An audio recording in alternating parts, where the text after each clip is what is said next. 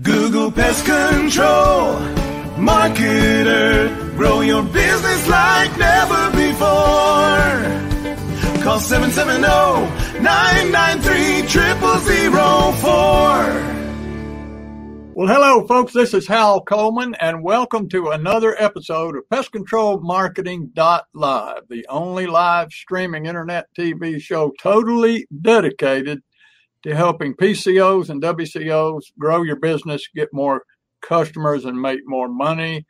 And I'm here with my sidekick, my mentor, my friend, my buddy, and business partner, Mike Stewart. How you doing, Mike? Oh, I'm great. I'm great. It's a good summer here of 2021. I like to, if I talk about a season, I always like to do a date. That's a little podcast tip.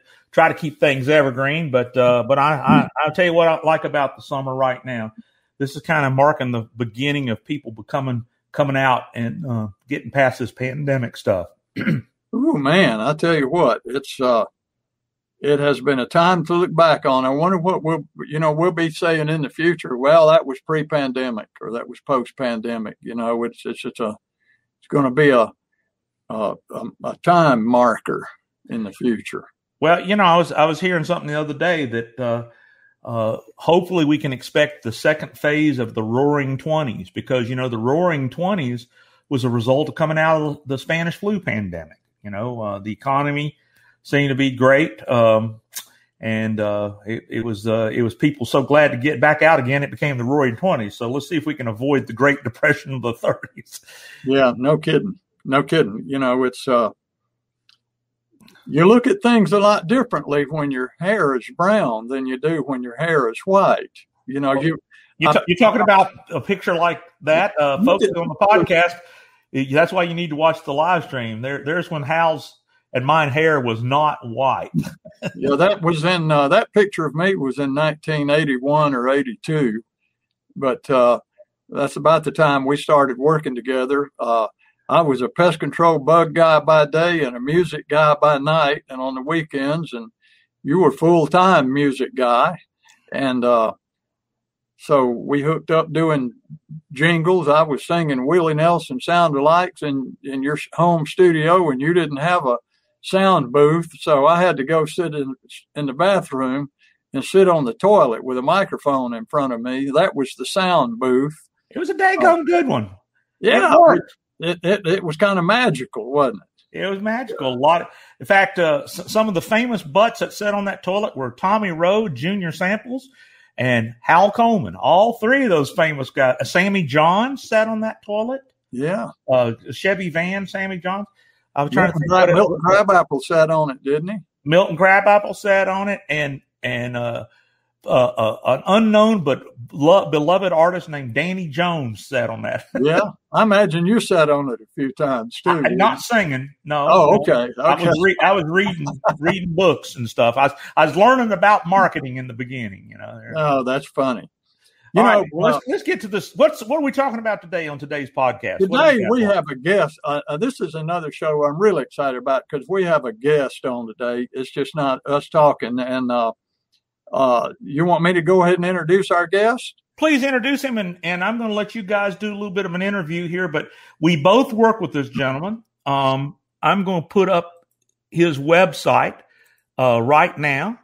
His name is. Go ahead, Fred, Hal. His name is Fred Talley with Faith Pest Control. Fred Fred called me probably over th- about three years ago. Uh, he had attended a couple of my workshops here in uh, in uh, Roswell Alpharetta area, North Fulton, and so I knew who he was. And uh, uh, he called me and said he had been struggling to grow his business. He was kind of, you know, flatlined there, and uh, he wanted to talk about my coaching program. So he got in my coaching program, and we he's not only been a coaching client now for uh, about three years, but he's become a really good friend and he has done really well with his business. I'm really, really proud of him. But uh, I asked him if he would share some of the struggles of how you get from being a person who is just doing it one way and you're getting one result and you, you want your business to grow and uh, you don't know how to do it. And it involves embracing new ideas, new thought processes, heading in a new direction. And that's what most people struggle with. I struggle with it, Mike. You struggle with it. Everybody struggles with change. You know, our subconscious mind that I call Elmo hates change, and he will trick you, deceive you, manipulate you, lie to you, stab you in the back, do whatever he has to do to keep you from changing your routine. And so, like you and I, Fred struggle with that some, and and like we all do, still does. But Fred has done a great job of embracing changes and adapting uh, to new ideas, and and so with further idea, I know he's got uh, further ado. Uh, I know he's got some stories to share. So uh, let's bring Fred on. And Hi, Hey, Fred. How are y'all? I'm doing great. And uh, I guess you heard my my intro, and I so uh, I know that uh, the folks who are watching are interested in hearing from you. And in the future, you know this this this podcast will be listened to by a lot of people from now on. So anything that you could share with them that would be helpful to them about transforming your business into a growth mode. Okay. Well, uh, everything that Hal said, uh, as far as I can remember, is true. Although I thought, I thought we started in 2017. Maybe it was 2018, but that's kind of immaterial anyway. Yeah. Uh, probably one of the first things that I, in our first actual official coaching meeting that Hal said to me that has really uh, stuck. It wasn't a light bulb moment when he said it, but it eventually became a light bulb moment. But he said, "My my my job is to make you feel comfortable being uncomfortable," and I, I don't think any truer words could be said about that. Uh, you know, by by day I'm forced to be an extrovert, but by night I'm very introverted. So sometimes it's a struggle for me to meet people and talk to them well, but based on his you know his statement about making me feel comfortable being uncomfortable, it made complete sense. Although I think he meant totally different thing, not just the meeting people, but I, I kind of embraced that idea he I've never even shared this with him. I kind of embraced that idea when I have to go had to go meet people. So now it, it, it, I am a lot more comfortable with it, but I'm still an introvert yeah. by nature. Uh, well, you were you were uh, uncomfortable when you first started, made your first videos. You were uncomfortable doing that. You were uncomfortable using some of the sales scripts that I came up with for you. You were uncomfortable for just flat out asking people to sign on the dotted line. Right. You know, right. you were just uh, you, you've made so many changes that it's it's pretty incredible, really.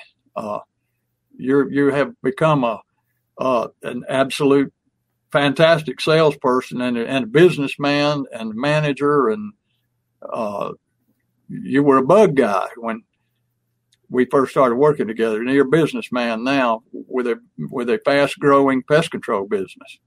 The, the, that that is correct because I, I, was a one man operation. Uh, you know, if I knew then what I know now, I would have probably approached things a lot different. But but I thought that I needed to understand everything about killing bugs, and, and the reality of it is killing bugs is an awful smart small part of what we what we really do. Mm-hmm. Uh, I I struggled with the with the thought of growing. Uh, you know, with hiring employees, I I you know got kind of got pushed in that direction more by familial circumstances because now at, at, this point I have two of my children that work with me, and uh, you know my focus is different now in that I, I, need to leave something for them that can sustain them financially if, if that's what they want to do. Mm. But it, you know, if they decide, and that right now is is what they want to do. But if they decide in the next ten years that that's not what they want to do, I will still have something I can sell, which I did not have four years ago. Yeah, And Yeah. just so people know that are listening, when you said your children work for you, it's not a seven year old and a nine year old. Your children are grown adults. Oh yeah, my my son's 34 and my daughter well she's 15 months younger than him. So 33 and some change. Yeah. Uh, Cuz uh, yeah, he'll be actually 34 on Friday. Or or uh, and I'll be married 38 years on Friday. So Well, that's great. Happy anniversary. thank you. Thank you very much. But you know, you are building a business that that you mentioned that to leave behind.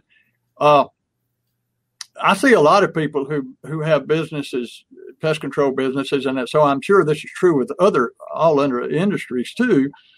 Um, that some people are building businesses that aren't going to be sellable when they get ready to sell it, and um, uh, when people are buying, making an acquisition, they look for certain things. You know, they look for, uh, start with, they're going to want to see at least your last two or three years tax returns, and they want to see tons of recurring biz, tons of recurring business. They want to see squeaky clean books, and uh, uh, you've really adapted well to that. You've you've got everything in order and you're building a very, very sellable business. Right.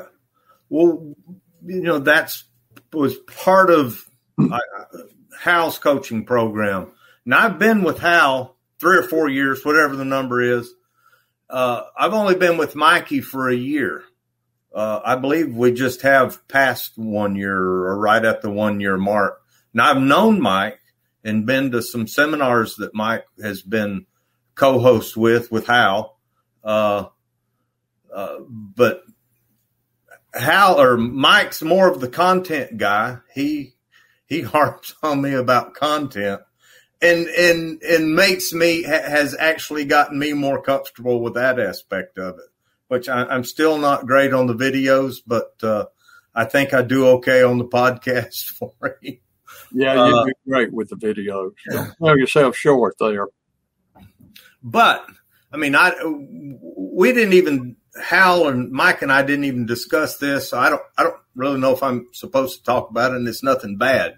But when I started with Hal as a one man operation, I, I was like at I don't know 115, 115, 120,000 a year. I did acquire, I bought a business right about just before I hired Hal that took me up to about 225 a year. So we're talking about 2018 now. And this year, if I don't if, if I don't sell anything else this year, which is highly unlikely, and just you know get all of the recurring uh,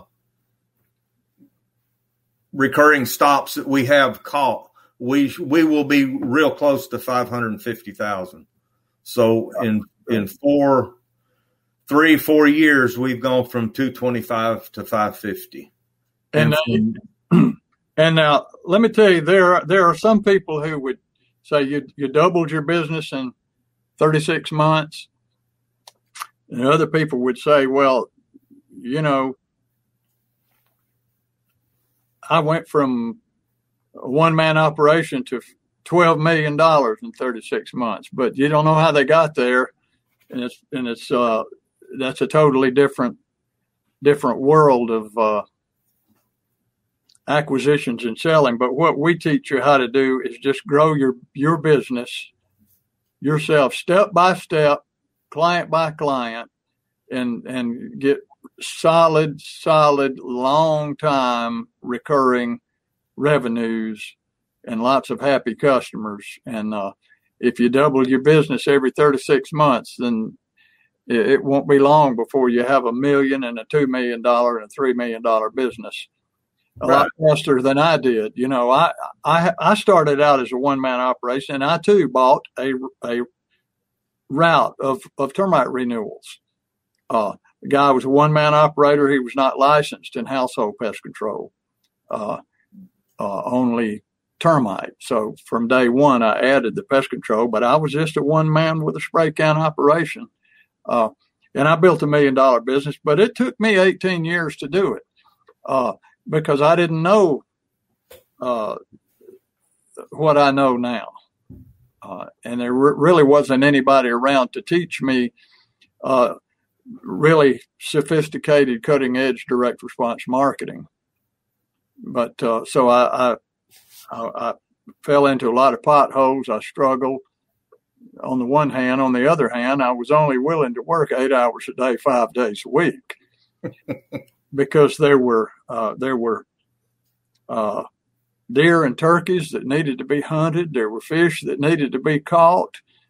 Uh, and there were golf courses that needed to be played on. And who was going to do it? It had to be me. I mean, you know, somebody's got to take care of all those things. But I had 10 employees at the end. And, uh, you know, sold my business uh, because I had started coaching people like you, and it was so rewarding that I just sold my businesses 15 years ago and be a coach.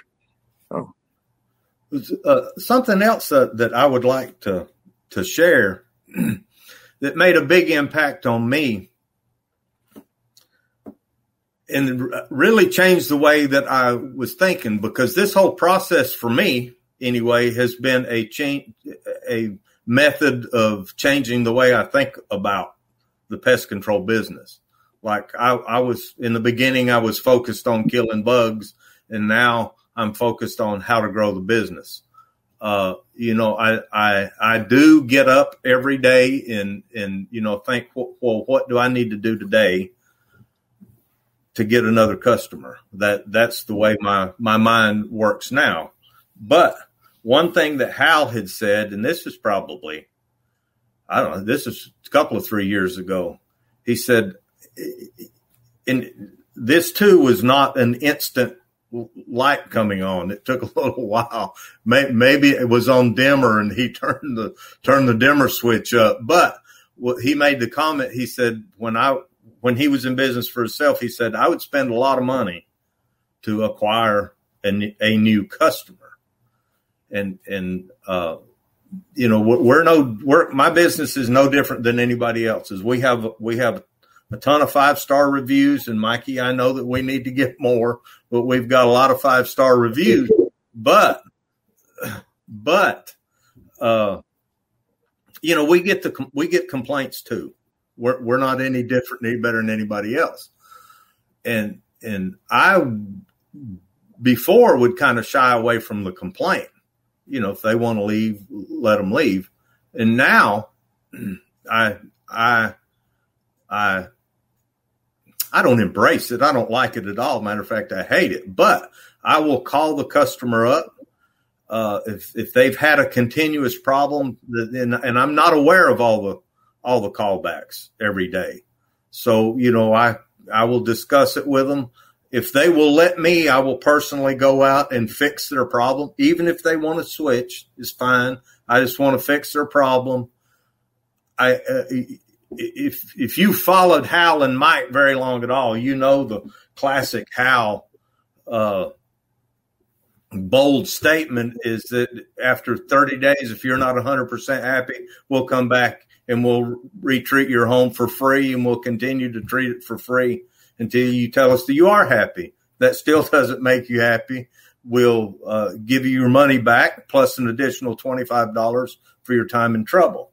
Now, I wish I could, could be one to say that I've never paid that money back. I've never done it on an, an initial service, but what I, I kind of extended that. And if somebody wants to quit me because they're not happy, their last service fee, I give it to them I have paid them as much as a hundred dollars to say, here, you and your husband or wife go out to eat on me.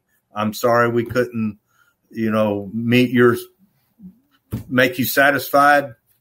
You know, ma, ma, you know, I'm sorry. We we did the best we could do, and we couldn't we couldn't make you happy. I'm sorry, and I give them their money back.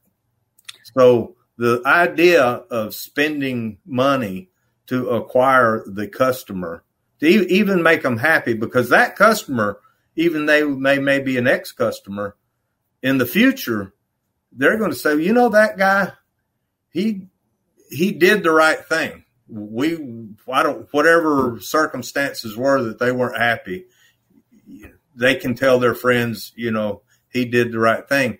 And in actuality, another one of Hal's tid, Uh, tidbits, I guess, if you will, is, is one of the things that he would say, always tell me to do. He said, if you don't have, if you have absolutely nothing else to do to grow your business, he said, you know, Hal and I are, I guess, more kind of old school. I hope everybody knows what a Rolodex is, but I guess you could go through your contact list on your phone. He said, and just start calling old, you know, previous customers. And I have actually, I, I don't what's the word? Re, re-signed them, got them as customers again. Just, you know, just call them, talk, talk to them, ask them how they've been doing, blah, blah, blah. And you'd be amazed at the number of people that'll say, well, you know, I, have been needing to call somebody. I've got ants or yellow jackets or whatever the problem is. So that methodology does work if you just call previous customers, talk to them, see how they're doing. Oh yeah, yeah. You'll you'll never get you'll never get past the the letter G till you have to leave and go service somebody. you know, but something I want to go back to something you just were touching on about uh, giving the money back. You know,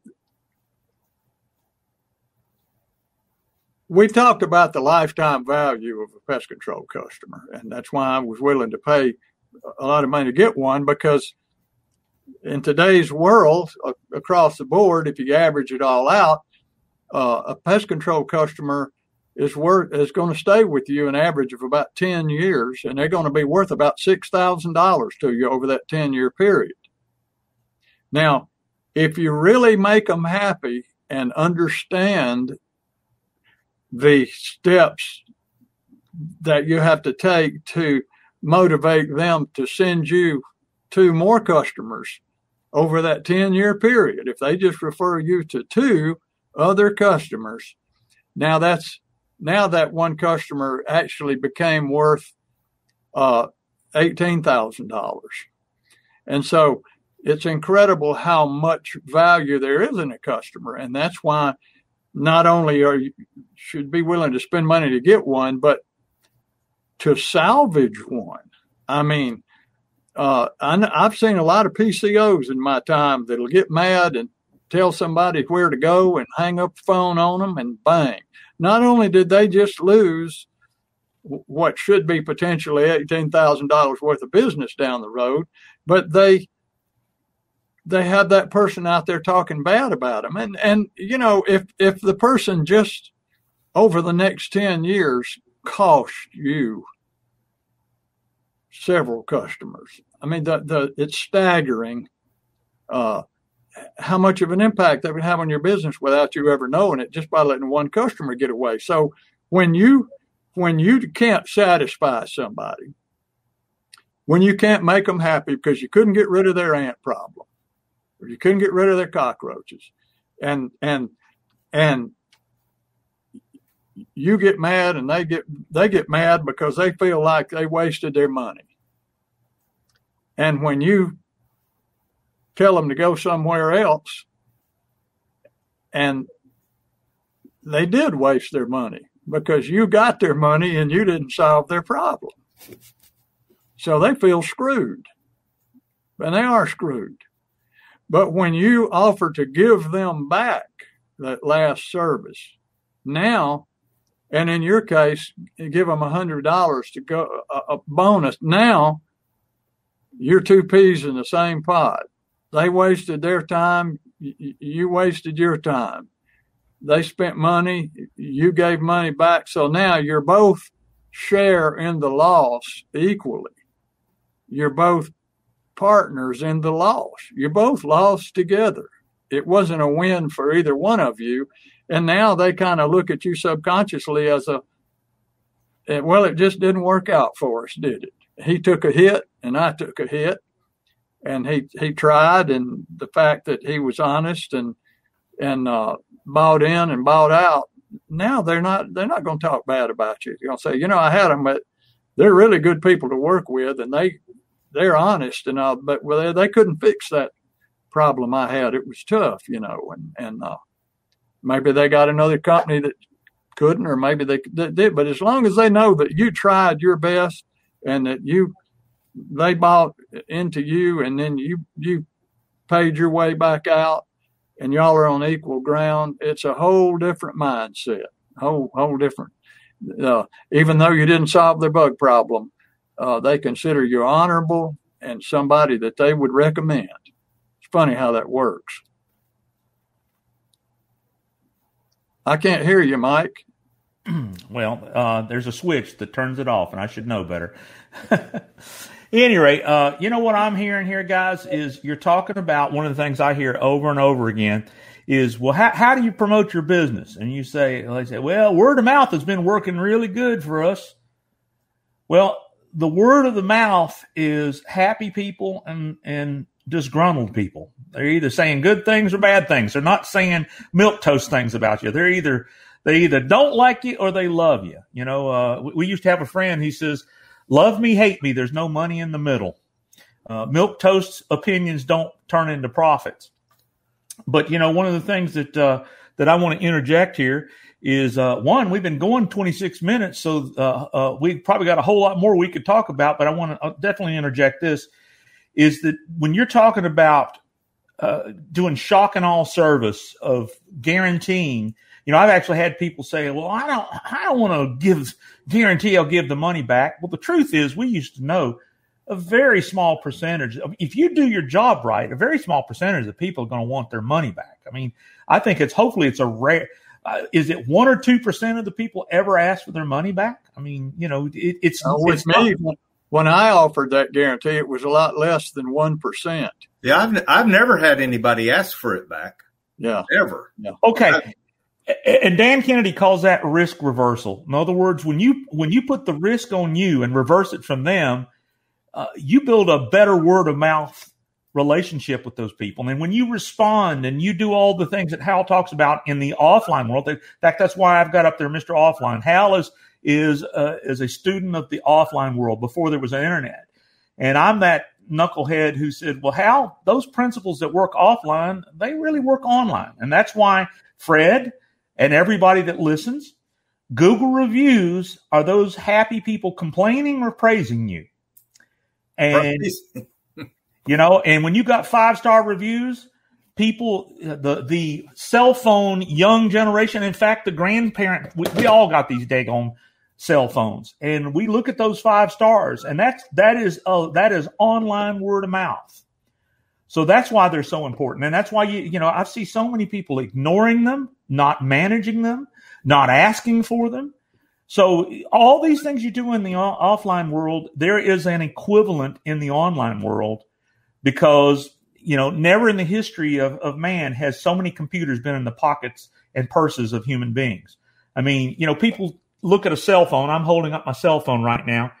That is not a phone. That is a computer a million times more powerful than the computer that got man on the moon 50 years ago, and it happens to have a phone in it. You know, the phone was the hook to make you buy the damn thing. The the people that invented it knew that you were connected to to everything online. You can buy from it. You can uh, communicate. You can take pictures with it. You can shoot videos with it. You can do all these crazy things that are online strategies. But if it was just a, a com- hey, little mini computer, buy the mini computer and you have to have a separate device for a phone, they knew you'd never buy it. Boy, Steve Jobs was brilliant. I'm going to put my computer, my Apple computer, in a phone. I mean, that it just it it was a marketing ploy.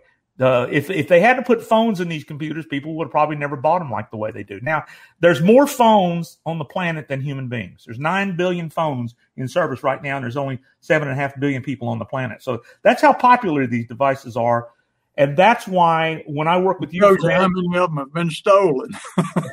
what I said that shows you how many of them have been stolen. I guess, but but the truth is is you. Uh, you can't just ignore the uh, uh, offline and you can't ignore the online. It's it's a yin and a yang. Uh, uh, you know, well, I'm only I don't. I mean, I remember when Hal said and you know, Fred, you probably don't know this. I'll get a computer, I'll get on the internet, Mike, the day you learn to skin a possum. That was a true statement from Hal Coleman. Many, many, many years ago. I will get a computer. I will learn the internet. I will get a website the day Mike you learn to skin a possum. Well, guess what? I have yet to skin a possum, and Hal now does says, "When are we going to do our podcast next?" We haven't done a podcast in a while. Yeah, I remember when right after Al Gore invented the internet is when you were telling me all that stuff. So, at any rate, Fred, uh, um, you know, uh, if there's any online experiences you'd like to share with the audience, I, I, on behalf of my world, since I gave Hal some talk, talking time here, what are some online pluses you've you've experienced, and maybe some negatives if you want to share them? Uh, uh, well, it, it is extremely important to get, to get the reviews. Uh, Mikey will push the importance of it. Hal coaches you through how to actually get the reviews. Uh, cause there's little nuances that, you know, I, I, I thought I was, had the perfect little script and Hal informed me that it was absolutely the wrong way to go about it. So we you know we change. You you have to i guess evolve in that. Uh more content uh i've been working with mike for the past i believe it's a little bit over a year now Mhm. we do we do a podcast we we try to do two every month uh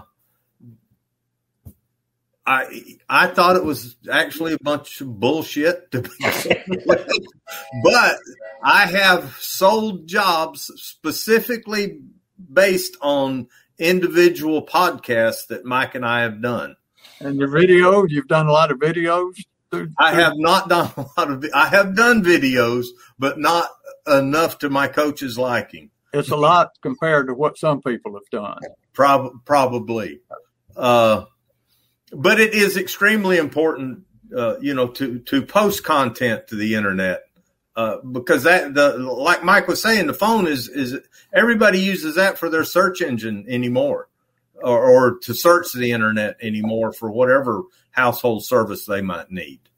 Uh, you know, Mike, and- Mike and Mike and Hal both. The, the I guess one point that I need or want people to understand is it's not a one hour a month and you're done.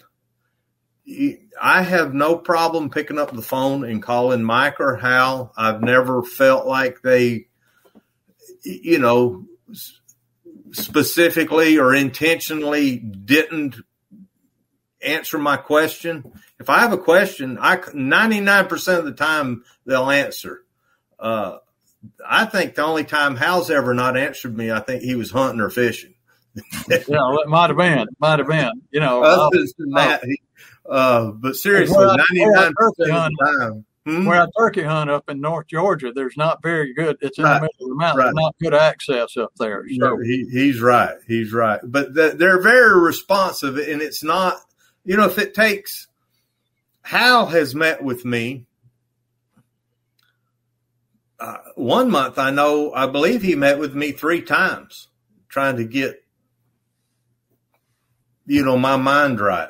And it was never, you know, it was never a, a, uh, a complaint from him. Uh, you, you know they're willing to do whatever they whatever's necessary whatever you feel like is necessary for them to do pretty much to get you go to get you up and going. If you Right. work with us, you're going to grow the business whether you want to or not. I mean, I, I, how many times have I really ticked you off through the years? well he's pissed me off several times several times Well, that, that's Elmo resisting change. you know, let's Right. look at, look at coach. I mean, you know, Tiger Woods has had a coach all of his life.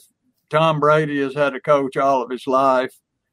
Uh, famous athletes, actors, uh, music musicians have had uh, coaching is just so integral, and and it's really come into its own over the past uh, ten years. Really, you know, people to realize there's coaches, they're life coaches, they're coaches who uh, for people who can't get their careers going. They're coaches for people who can't get their personal relationships uh, to work. They're coaches for people who uh, to keep them physically in shape, to build a better body and a better better health, and to lose weight. And they're spiritual coaches, uh, just like they were football coaches, basketball coaches, wrestling coaches, golf coaches. Uh, but coaching, uh, I've hired a coach myself. You know, uh, two or three years ago, to help me build a more valuable coaching business. That's what this coach did. This coach coached coaches, and so I, I, I spent a lot of money and, and, and it was well worth it because I built a better coaching business for my clients. And so, uh, you can do it on your own or you can get a coach. But the people that I mentioned, like Tom Brady and, and Tiger Woods and, uh, and those people, where would they be today if they had never had a coach? Yeah, let, let me let me sum this up a, a, little bit here because guys, we're we're uh, we could probably talk a whole lot longer, but we're probably going to have to wind it up here pretty soon. But let me let me tell you, in the offline world, you got to do a great job. You got to have a, an ethical business. You got to deliver over deliver what you promise. You got to make it right, and that's in the real world before there was an internet. And but in the real world, you what you say, the you know, as Mark Twain said, the difference between lightning and lightning bug is is what well, he said but the, the difference between the almost right word and the right word is like the difference between a lightning bug and lightning. Right, exactly. What I'm saying is what you say in the offline real world to people standing on their front porch, on the telephone, at a networking meeting, at a chamber of commerce, what you say can mean the difference between getting a customer or not. Now, when it comes to the internet, the internet is you electronically 24 7 worldwide in the pockets of everybody's phone. So in other words, those, what you say on your websites. I mean, I, I fight with people. In fact, Fred, you told me you have web developers calling you all the time, telling you how, oh, how they'd yeah. make you a better website. Oh, the website you got is ugly. Oh, it looks dated. All this other baloney that, that we know. Do, I don't think you've lost one customer that said, my gosh, your website's not as pretty as XYZ's website. Have you? no, nobody's told me that anyway. Yeah, if you ever lose a piece of business because of your, they said your website was ugly, you need to tell me and we'll fix it. We'll figure out why. But the truth is, uh, they're only trying to sell you another website to make money for them. They don't really care about you, but we care about your business and what you say on that website is way more important than than all the other stuff that the web designers love to sell you. So, um, what I'm trying to get across is you got to have what Hal and I call response triggers, guarantees, bold promises. And the best way to talk to people while you sleep is through the power of video. That's why we do the, these uh, live stream podcasts is we're archiving content that somebody someday may see this, hear this, and get inspired to make the changes that you've made. So that's why in the online world, video, response triggers, uh, the perfect words, saying the right things mean the difference between a buyer and a back button. You know, we used to say on the internet, the most popular button on the internet is the back button. The, oh, I found this. This is not for me. And then the other, and that's called conversion. And that's one of the things I try to teach, uh, teach you, Fred, and teach all the clients I work with is we got to make conversion content, C- content that convinces somebody that you're the person to call. And then the other thing is, and this is what I, I, love. Well, I need SEO. I need I need search engine optimization. Well, they're just saying words. What they're saying is they need targeted prospects who don't know who you are to find you. And and in my opinion, uh, we're doing you with you. And and and if I recall the beginning of this podcast, you said you've doubled your business over the last four years. Isn't that true? Yeah, over double. What, what, what is your growth rate right now? Compared to this time last year? I don't know the answer to that, but last year we did uh, 365. Oh, I thought you said this month you were up like if if if if I don't sell anything else between now and the end of the year, just do our recurring, just get all of our recurring stops caught. We'll be at it's at, right at five hundred and forty eight thousand. And so we you, right now, you said you're up fifty up fifty percent from where you were. Yes. Yes. Yes. Okay. Yeah. So listen. Well, let me let me finish my statement I got here, a Hal. coaching- I got a coaching call coming up myself here soon. So All right. Well, let me Uh, let me finish this. Wind this up to because you know you and I are very personally involved with Fred. Um, but paid advertising, the Google AdWords that we do with Fred, that's paying for itself. It's bringing strangers who are looking on their cell phones, and seventy five percent to eighty percent of the people that find you, Fred, um, on a phone, are, I mean, they're finding you in Google AdWords on a phone. And when we take that ad and we direct it to a page that has response triggers, that can be a salesperson for you while you sleep. And that's one of the things. That's why content's so important. That's why advertising is so important. And and at the end, bottom end of the day, if this advertising and this coaching and all the things that you're spending money on makes you a bigger profit, that's what we're all about. It- wouldn't you say the things that we're doing for you is paying for itself and and, and having profit left over? Yes No, or no? no, no doubt. Okay. Yes. No and doubt. that that's the struggle we have. You know, I have I have so many people tell me how, and I'm sure you have too. "Oh, I just don't know if I can afford this. You can't afford not to do the right things. You know, I had we had another client that I can't believe it. He was spending sixty thousand dollars a year on search engine optimization and web management. Five thousand dollars a month, sixty thousand a year, and couldn't show one customer for it. I hear those horror stories every day. And we're not spending anywhere near that because it's knowing what to do. And in fact, I have a speech called A Thousand Little Things. It's not any one thing, it's a thousand little things. A thousand, thousand things Hal tells you to do, a thousand things I tell you to do.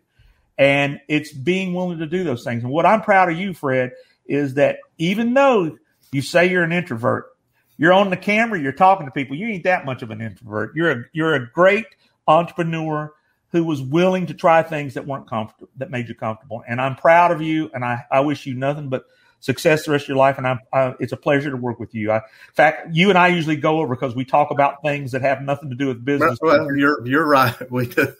it's because you're you're a good person and you deserve to be successful. And I can't wait to hear the day you break a million. And I, I think that's in your future. You keep on the path here. So Hal, um, I know you got a coaching client. One of the things I do want to say uh, is that we are brought to you by our free book. Uh, Hal, Oh, yeah. Hal you can, an you can book. actually you can actually still get that book free right now. Uh, and uh, if you get it and it's free, and if you and if you read the whole book and you don't think it was worth what you paid for it, I'll give you a refund. How's that? but uh, and uh, listen, if anybody's listening to this podcast would like to find out more about Mike and more about myself and our coaching program, uh, you can simply give me a call at 770-993-0004. I'll be glad to set up a one hour coaching session with you. I'll send you a questionnaire to fill out prior to it so that I don't have to spend the whole hour asking you all the questions in the questionnaire. I'll already have a lot of information about your business, made some notes and and found you some uh, low hanging fruit that you can go out and, and uh, increase your sales with, and it won't cost you anything to have that hour session. And at the end of the hour, if you want to know more about my coaching, I'll be happy to tell you about it. And if you're not, I won't. But uh, Mike, you offer the same thing, I believe. Absolutely. In fact, I, I'm talking to somebody today. In fact, we had a question, Hal, here early. Uh, I got to show this question, but my phone number is 770 826 3662. You call me, I answer my phone. Uh, anytime somebody calls, I, I answer it because that daggone computer's always with me. And uh, uh, I love this, Hal. You got to see this. Uh, this guy uh, with a landscaping company says, "Do you take clients that haven't made a pest control business but working on the side, they're looking to leave and start my own company?" And I answered them, "That's what they need to do. Call Hal at his number, call and at my number, and um, you know, we we love helping. In fact, we, one of our best." Uh, uh, case studies is a guy who started from the beginning, uh, Mike Warren, and uh, he didn't even have a name for his pest control business. We named his business. He Oh, he didn't even have any pest control experience. None. He didn't know the difference between an American cockroach and a bed bug. And he had no licenses, no certifications, no background in it. He just thought it would be the kind of business he would enjoy. So we helped him find a licensed operator for DCO. We helped him name his business. Uh, we helped him locate and find his first registered employee, and uh, and he went out on the first pest control job he'd ever been out on in his life. Well, and and I can't thank our good friend and uh, amazing transformation from in the last few years from faithpestcontrol.com. Go check out faithpestcontrol.com, guys. It's real easy. In fact, if you Google Faith Pest Control, Fred, because of what we've done, is number one in Google in the world for those three words, Faith Pest Control. Three words, and you can find him. That's all you got to remember. Fred Talley, thank you so much for being on our show today. Um, this thing will live on the internet forever. So if there's anything you don't like what you said, you're stuck with it, buddy. It's well, I hope it was helpful to somebody. Uh, very helpful. helpful information you shared. And folks, thank you for listening to this episode of Pest Control Marketing Live. We'll see you next time. Hal Coleman has been active in the pest control industry for over 40 years, including owning and operating his own successful pest control business for 18 years. He now devotes his time to helping other PCOs and other WCOs double, triple, and even quadruple their businesses faster than they ever imagined. Be sure to check out his website, pestcontrolmarketer.com. For more information about Hal's coaching program, you can reach him at 770 993 0004 or email him hal at halcoleman.com. Mike Stewart is known as the Internet Audio and Video Guy. Since the birth of the internet, Mike has been showing small business owners how to get more new customers, increase their sales, and grow their businesses online using audio and video, now with iPhones and Android phones. For more information about Mike's coaching program and his online training courses, visit MikeStewartCoaching.com or email him mike at InternetAudioGuy.com. Google Pest Control, marketer, grow your business like never before. Call 770-993-0004.